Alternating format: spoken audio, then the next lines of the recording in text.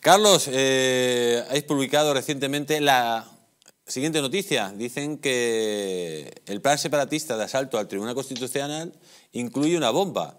El Estado no podrá exigir uniformidad legislativa a las comunidades autónomas.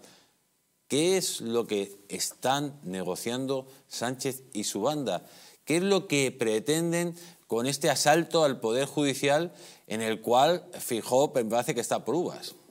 Sí, vamos a ver, el, desmembramiento del sistema constitucional eh, era pleno y eso era de lo que se estaba hablando, barra de lo que se está, no se estaba, sino se está hablando, porque el Partido Socialista continúa en sus trece, está convencido de que puede sacar adelante esa reforma del Tribunal Constitucional, controlarlo y, por lo tanto, pasar por el Tribunal Constitucional cualquier reforma legislativa sorteando, burlando, eh, esquivando de alguna manera la Constitución, porque ese Tribunal Constitucional amañado le dará el plazo y le dará el, aval necesario para que se pueda poner en marcha. Y una de esas medidas afectaba directamente no a aquello de todo lo que se está hablando, la famosa historia, que también es verdad, la famosa historia de esos referéndums pasados y pactados y considerados como consultas no vinculantes para que los aceptara el Tribunal Constitucional y que no deja de ser repeticiones del 1 de octubre, pero encima sin oposición, eh, toda la despenalización no solamente de los delitos nuevos de sedición, sino de todos los delitos de comportamiento violento que acumulan y, y que además algunos de ellos están pasando directamente por procesos judiciales en Cataluña,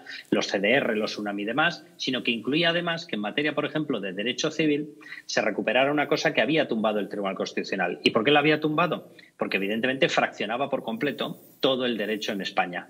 ¿Qué era lo que pretendían? Que fuese transformada la Constitución de forma que ese fraccionamiento se pueda llevar a cabo de una forma legal. Y eso iba en el pacto. ¿Esto qué hubiese implicado?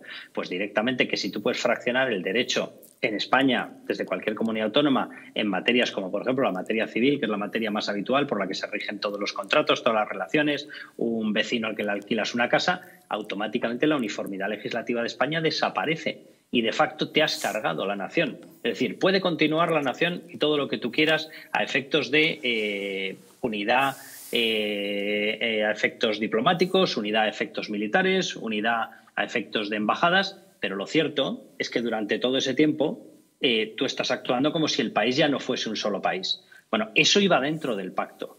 Y eso, de hecho, cuenta ya con un texto redactado, que quien lo ha redactado ha sido Podemos, cuenta con un texto redactado para poderlo llevar a cabo. Y no ha sido retirado ese texto que está registrado en el Congreso.